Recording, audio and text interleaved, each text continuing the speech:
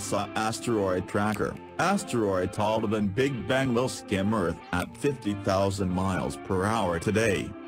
An asteroid taller than Big Ben's clock tower in London, UK, will come barreling past our home planet later today, NASA's asteroid trackers have revealed.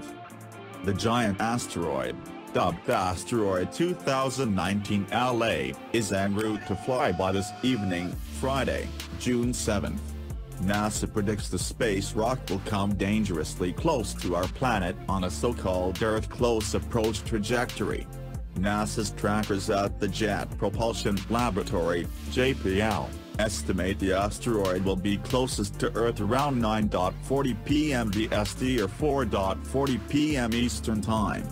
And when the rocky object zips by, NASA said asteroid LA will reach breakneck speeds of around 22.28 kilometers per second or 51,000 miles per hour, 82,080 kilometers per hour.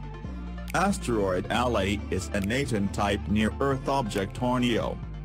NEOs are all asteroids and comets hurtling around the inner solar system, within the confines of the asteroid belt between Jupiter and Mars.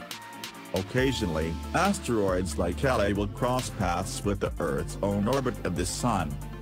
This space rock, in particular, is an interesting object to keep an eye on because of its sheer size.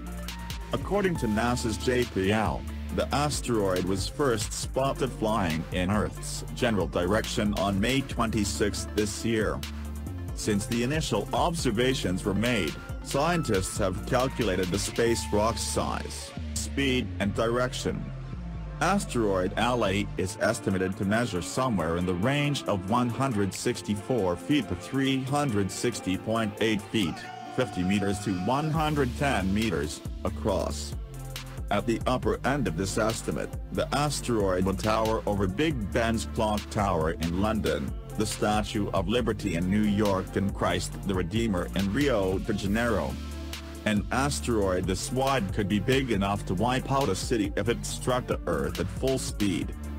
And even at the lower end of NASA's estimate, the meteor is the same height as the Arc de Triomphe in Paris and is as long as six London double-decker buses. So, is there any danger the space rock is headed directly at the Earth tonight? Thankfully, NASA said the asteroid will miss the Earth by about 0.03555 astronomical units. A single astronomical unit equals around 93 million miles, 149.6 million kilometer, which is the distance from the Earth to the Sun. This means asteroid LA will considerably shorten the distance down to just 3.3 million miles, 5.3 million kilometer. In other words, the asteroid will approach from 13.84 times the distance to the Moon. After that, NASA does not expect asteroid LA to cross paths again with Earth in the foreseeable future.